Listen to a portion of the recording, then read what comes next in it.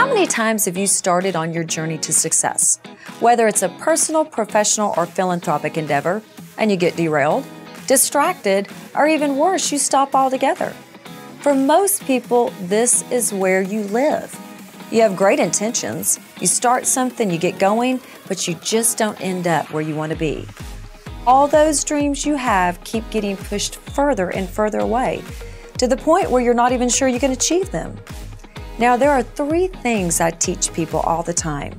Number one, you can't grow unless you're in an environment of love. Number two, you are the sum of the five people you associate with the most. And number three, you cannot succeed alone. Consequently, you must surround yourself with people that are living their lives with intention, people that are investing in themselves and their development, people of action that believe in you sometimes more than you believe in yourself. And not only that, but people that are capable of breathing faith, hope, and belief into you. You must feel loved and you must be loved. You can't receive a million dollar paycheck hanging around minimum wage people. You just can't. You've got to up your game. And the first place you start is associating with the right people. It's because of these facts and so many more that I created and facilitate live and virtual masterminds to help people stay on track and achieve their dreams. Now, these masterminds have literally changed people's lives, and I know they can help change your life too. Whether you want to launch a new business, up level an existing career, need help determining what your next best move is, or identifying your true passion.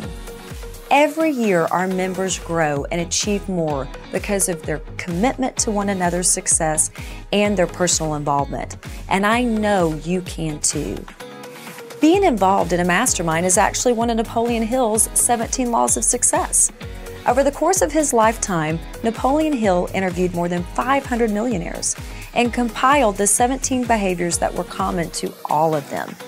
One of those behaviors is being involved in a mastermind he found the most successful people actively participated in mastermind groups. So, if there's only one thing you can do this year to ensure you move yourself not just forward but upward, it's getting involved in a mastermind as quickly as humanly possible. Consider this your official invitation to join me and be a part of my mastermind group. I know you're ready to start making your dreams become a reality so contact me today directly at gensjohnson.com. I can't wait for us to get started. How about you?